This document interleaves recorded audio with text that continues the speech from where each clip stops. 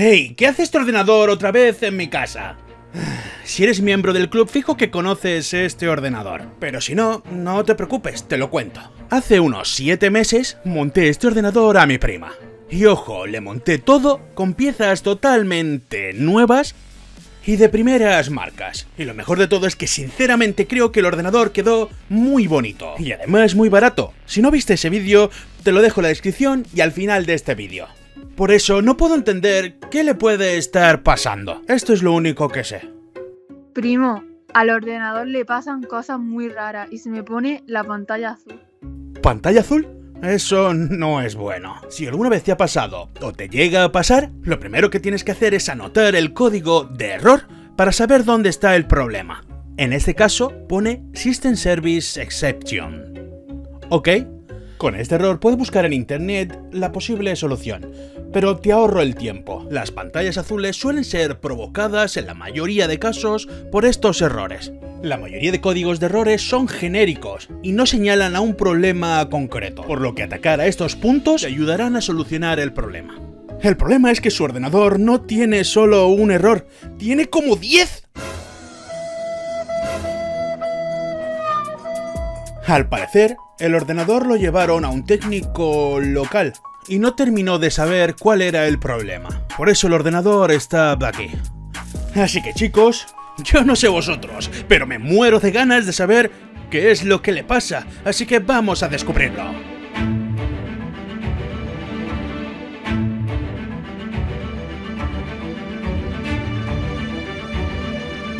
Espera un momento. ¿Qué es eso? ¿Qué hace la gráfica suelta? ¿What?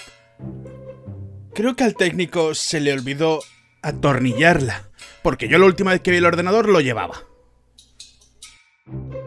Ok, así es como se parte el PCI Express de la gráfica. Por suerte, esta RTX no pesa mucho.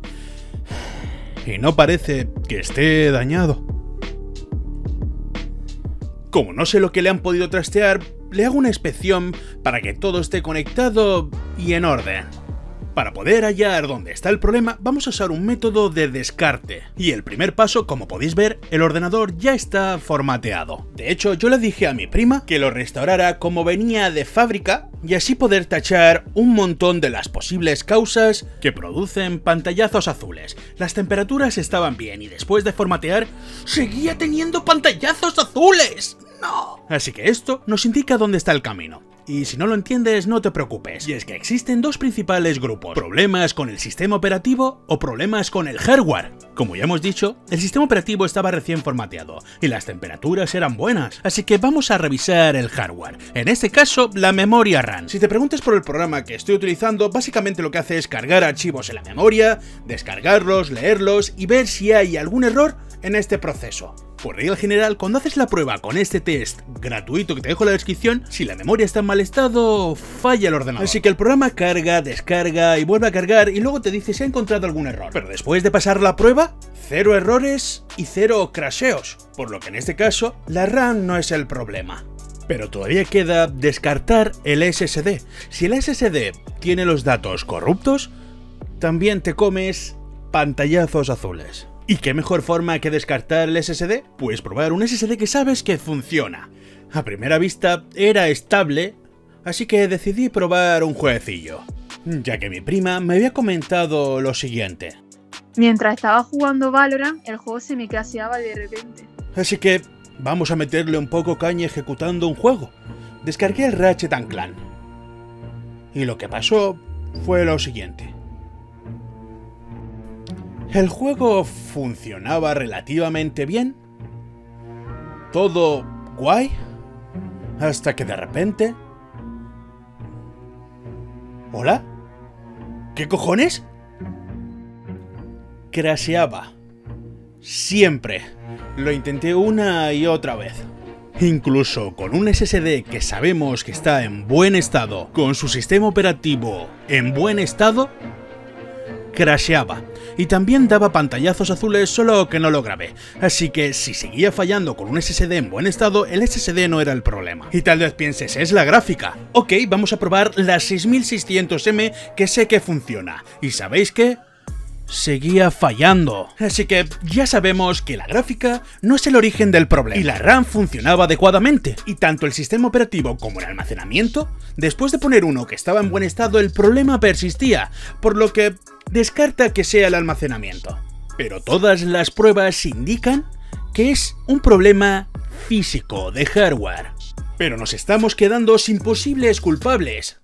Así que si le metemos un nuevo sistema operativo y el problema persiste, sabemos que es hardware. Lo mejor de todo es que la key que le regalé de Windows 10 a mi prima vale para Windows 11 Pro. Jaque mate Microsoft. Como bien sabéis, GBGMall patrocina el canal, y si usas el código SFD20 te dan un 25% de descuento. Por lo que si necesitas tu licencia para Windows 10 o Windows 11 totalmente legal, te dejo abajo los enlaces en la descripción y el código de descuento. En este punto hemos descartado el sistema operativo, la RAM, la gráfica y el SSD, solo queda la fuente de alimentación, la CPU y la placa base. Ya no queda más hardware. Y uno de estos tres tiene que estar causando los problemas. La fuente de alimentación si tiene algún voltaje inestable o bajo, puede generar problemas de funcionamiento y en este caso cabe la posibilidad de que pueda ser la fuente. Pero esto es fácil de solucionar. Tengo una fuente no solo que puedo ver el consumo, sino que sé que funciona adecuadamente. Así que vamos a montarla y vemos si la fuente tiene la culpa. Y adivina el ordenador sigue fallando. Solo quedan dos posibles culpables, la CPU y la placa. Es muy extraño, pero vamos a hacer una pequeña prueba que señalará directamente al culpable, y es que si sacamos la CPU de este ordenador y la montamos en una placa que sepamos que funciona, si el equipo llegara a fallar, significaría que el origen del problema es el procesador, y si funciona bien, señalaría a la placa. Así que, ¿qué cojones? Vamos a descubrirlo.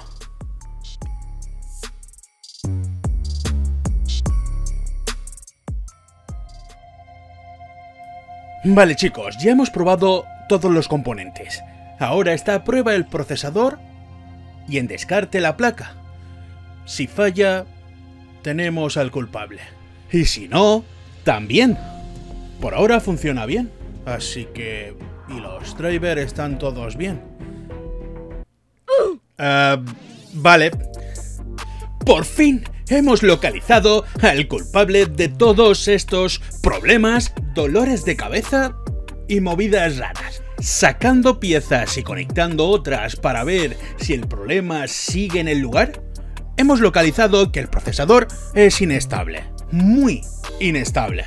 Y aunque no lo creas, que un procesador falle como estamos viendo, es más común de lo que piensas. Y no te preocupes, te lo explico. Por regla general, los mejores chips terminan en la gama alta, y los chips de peor calidad no se tiran a la basura, terminan con menos núcleos y menor frecuencia en la gama baja. Estos pasan unas pruebas para determinar en qué gama terminan. Por ejemplo, este es un 5600 el que da problemas. Si vamos a la descripción de la web del fabricante podemos ver que hay un reloj base y un reloj turbo o aumentado de hasta 4,4 GHz. Todavía no lo sé seguro, pero según mi experiencia, este chip roza, roza los 4,4 de forma estable, por lo que pasó las pruebas para ser un 5600, pero la realidad es que debería haber sido catalogado como un 5500 y así la BIOS no lo lleva hasta los 4,4, debería tener menos boost.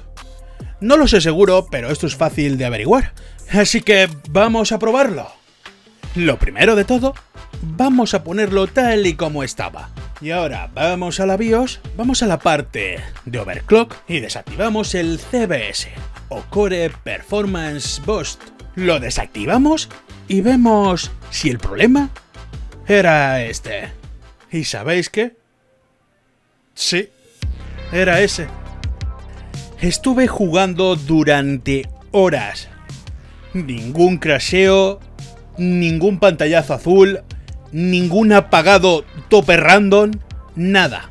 Y aunque hemos tenido que ir paso por paso para localizar dónde estaba el problema e intentar ver o darle una solución, al final hemos conseguido solucionarlo. Aunque también existen otras formas de averiguar si tú tienes este problema, y es usando el visor de eventos. Si usamos el visor de eventos y nos vamos al resumen, podemos ver si hemos tenido errores críticos.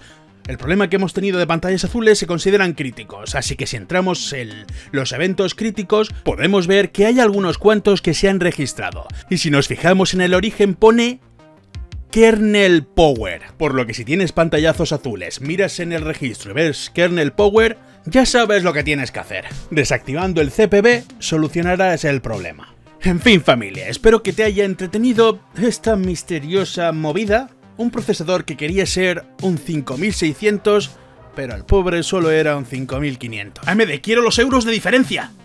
Espero que os haya entretenido este vídeo, un saludito a todos y nos vemos en la próxima aventura.